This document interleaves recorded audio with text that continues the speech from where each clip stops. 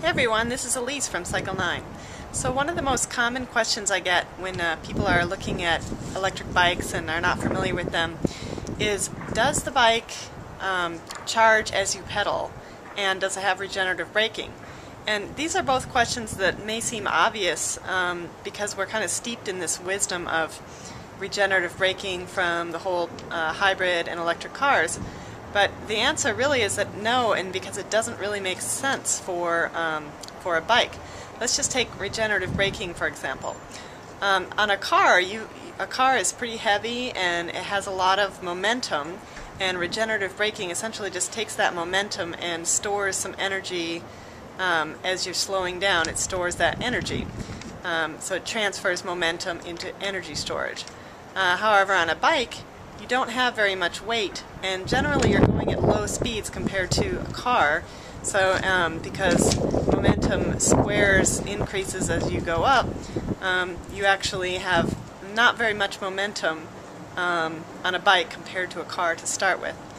Um, take that into account and then also bicyclists are very good at using momentum to help them ride more. So for example if you ride a bike I'm sure you're familiar with the rolling stop when you come to a stop sign, you know, you, you kind of look both ways and probably don't stop all the way. You kind of maintain a little bit of momentum as you go through the intersection and that really helps you get going again.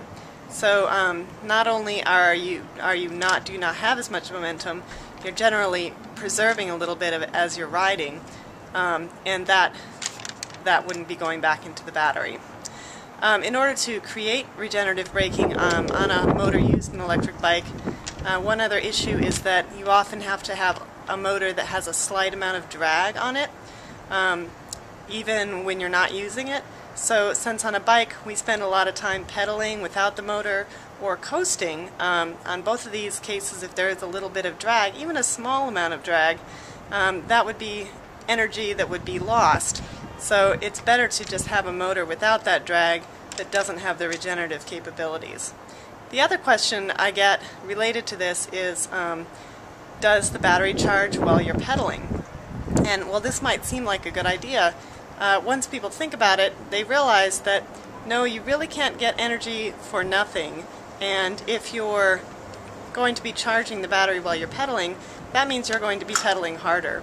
And now most people prefer that all of their pedaling effort goes to moving the bike and themselves forward, and they just use the motor as an assist to increase that movement, rather than um, having their pedaling go to recharging the battery, because obviously it's going to be harder to pedal if you're also putting energy back into a battery in, in addition to moving forward.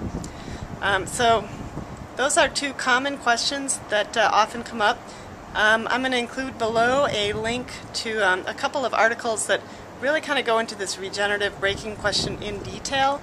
Um, if you want to read more and find out all kinds of calculations they've done and things like that, uh, check out a couple of the links below. And uh, we'll see you tomorrow. Thanks.